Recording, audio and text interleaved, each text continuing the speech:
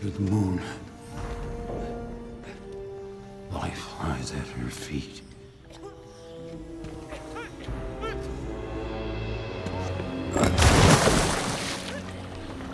Water displacement. Get in the pool! Why? Help me open the door! Well, they didn't get out the doors. Get in the pool! Okay, I'm getting in the pool. Help me!